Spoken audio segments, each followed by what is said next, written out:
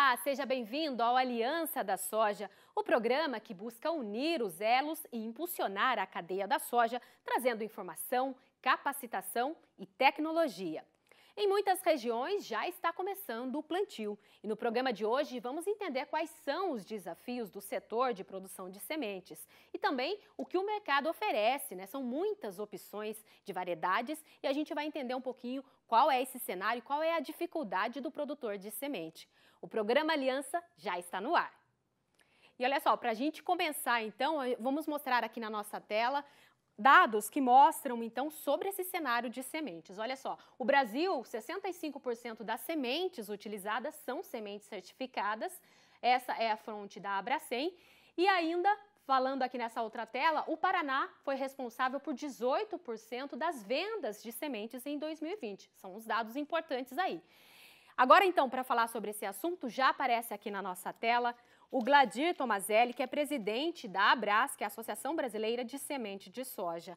A gente viu aí, então, esses números né, de sementes certificadas no Brasil, também o Paraná se mostrando aí à frente na comercialização de sementes. Queria entender, então, em nome da Abras, como que vocês é, enxergam os principais desafios para o produtor de semente?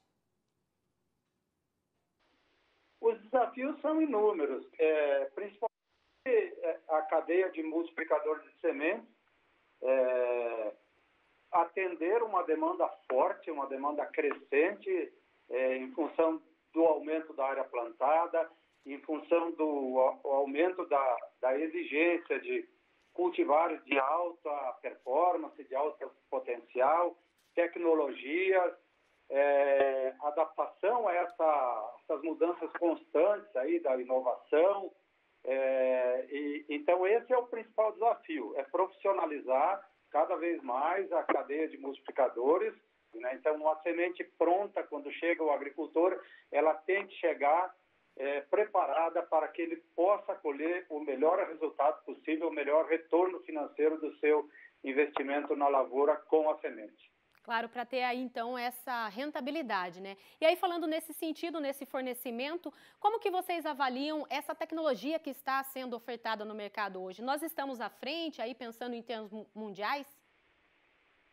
Sim, sem dúvida. É, o Brasil é sabido por todos, é lógico, nessa pujante crescente aí é, da importância é, da produção agrícola e o setor sementeiro tem contribuído grandemente para que a agricultura se desenvolva, é, em função do seu trabalho, em função da sua organização, em, em função daquilo que eu disse, que é a profissionalização, é, bem como grandes investimentos, é, grandes players mundiais aí é, com interesse na cadeia de multiplicação de sementes, por considerar que é o produto mais importante da lavoura. Hoje a semente não é apenas o veículo é, ou o produto responsável pela alta produtividade é, somente pela questão genética, mas também pela biotecnologia, ou seja, a resistência a, alguns herbicidas, é, a resistência a pragas, a doenças,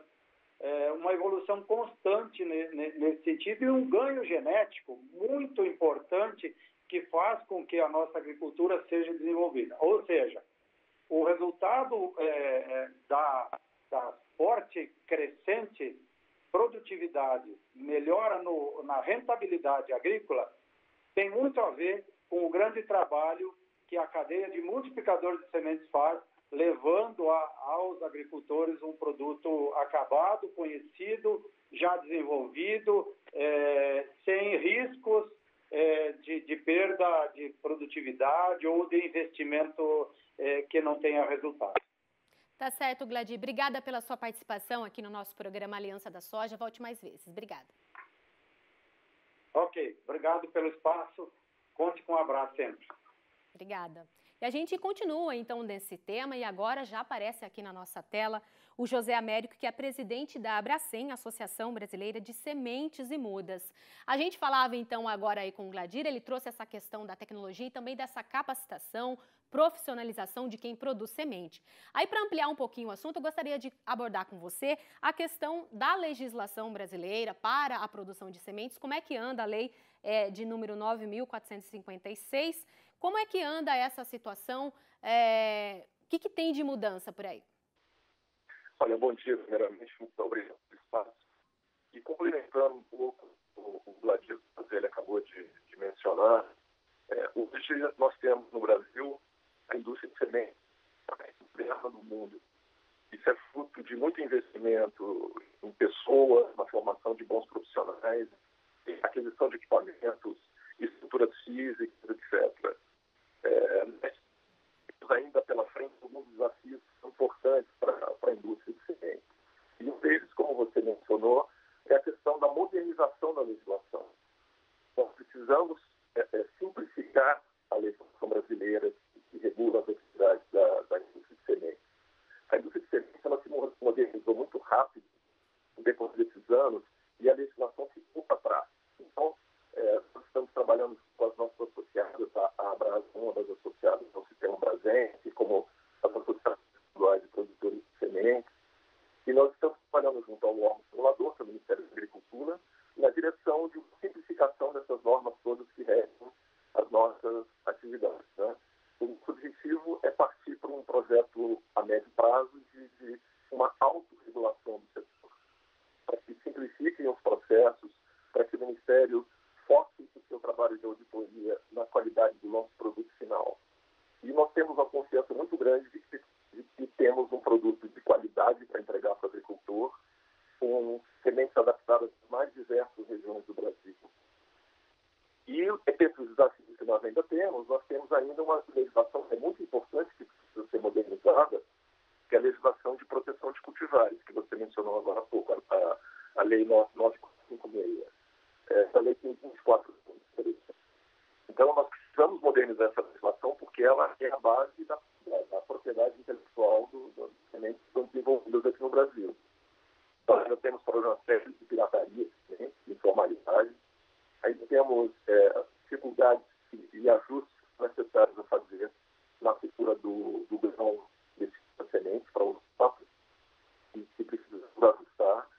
São desafios grandes são muito importantes para que um país com vocação agrícola como o Brasil possa manter a sua competitividade. A indústria de sementes é a base do, do nosso agronegócio. E nós temos sim que, que ter uma atenção maior nesse momento na modernização desse marco regulatório. Tá certo, obrigada pelas suas informações, José Américo. Volte sempre aqui com a gente. É importante falar sobre esse tema, afinal Obrigado. de contas, o bom plantio, claro, começa com uma semente de qualidade. Obrigada. E o programa Aliança da Soja vai para um rápido intervalo, mas daqui a pouquinho a gente volta e a gente continua falando sobre os desafios e também as necessidades dos produtores de sementes. A gente volta já já.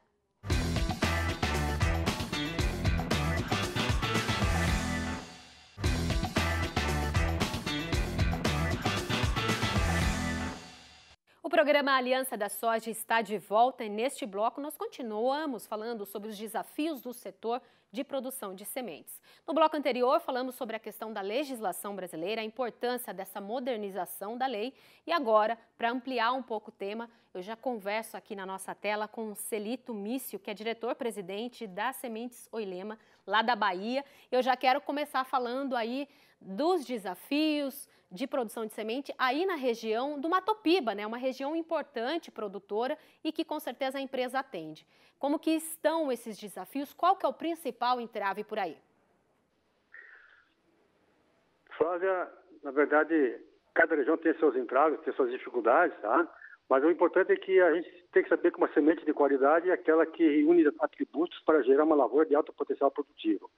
Aí está a questão genética, que é a cultivar, a sanidade realmente não leve é, contaminantes para a lavoura do, do, agricultor, mas principalmente a qualidade fisiológica, que é a vitalidade daquela semente, que mede o grau de vida que aquela semente tem, que é a capacidade de germinar uniformemente.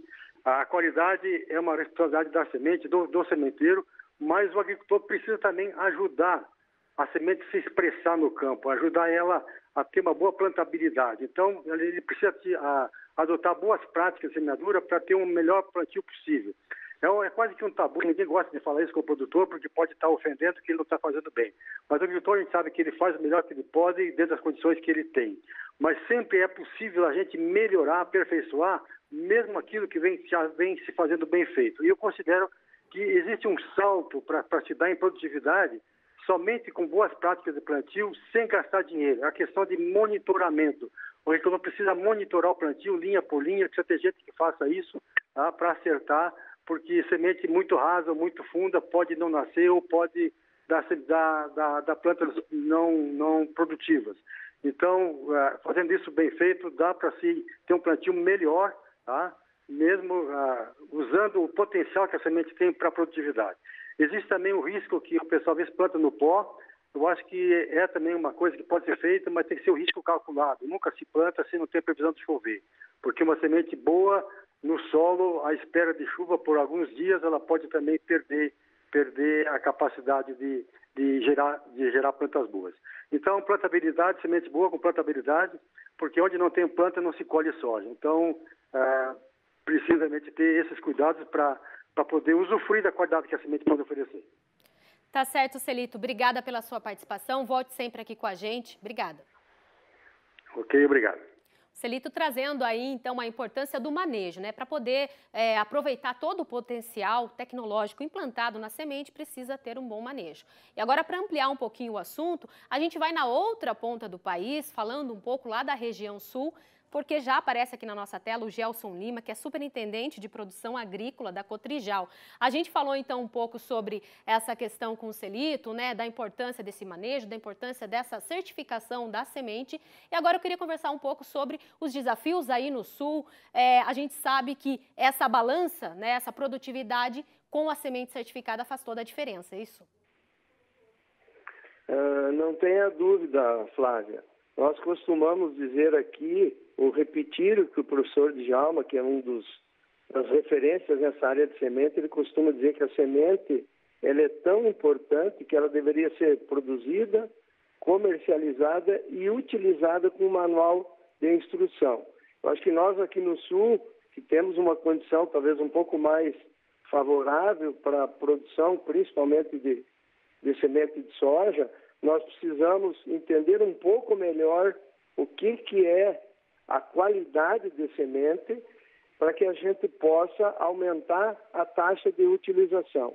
Nós não temos dúvida que a agricultura cada vez mais precisa ser encarada como um negócio, um negócio que precisa gerar resultados, renda, lucratividade e o principal componente para que a gente minimize riscos e maximize produção, é sem dúvida nenhuma o uso de uma semente de qualidade. Já tem inúmeros trabalhos demonstrando aí pela pesquisa, por eh, produtores em geral em várias regiões do país, mostrando que toda vez que eu utilizo uma semente com qualidade, realmente que ela possa expressar no campo aqueles atributos que realmente ela traz, então, atributos de qualidade eh, física, de qualidade genética, de qualidade fisiológica, de qualidade sanitária, o conjunto desses atributos realmente nos permite dizer que temos uma semente de qualidade. Quando isso ocorre, não, tem, não temos dúvida nenhuma de que o, o produtor terá um resultado econômico maior na sua atividade. E, e a gente vê também que a semente é, sem dúvida nenhuma, algo estratégico dentro da sustentabilidade do agricultor. Nós tivemos várias revoluções tecnológicas na agricultura nos últimos anos, mas sem dúvida nenhuma, um marco tá é a genética contribuindo nesses avanços tecnológicos. Obrigada pela sua participação. Gelson, participe mais vezes aqui com a gente. Obrigada. Muito obrigado pela oportunidade. O Gelson falou então aí, falando da região sul. Importante, muitas pessoas nesse momento, muitos produtores já estão em época de plantio, então certifique-se sempre na hora da compra de adquirir sementes certificadas para poder aí ter uma alta produtividade, uma safra cheia. O programa Aliança da Soja fica por aqui. Acompanhe a gente nas redes sociais, reveja os programas já exibidos e lembrando que tem reprise na terça-feira, às seis e meia da manhã. Eu espero você na semana que vem. Muito obrigada pela sua audiência. Tchau, tchau.